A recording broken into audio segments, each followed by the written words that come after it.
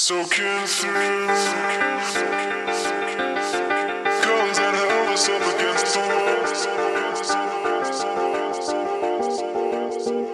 wall. Soaking through.